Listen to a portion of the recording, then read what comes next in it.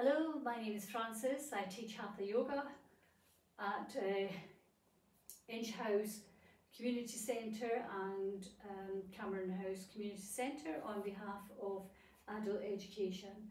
And um, I'd just like to do a short demonstration of the warrior, uh, dancing warrior sequence.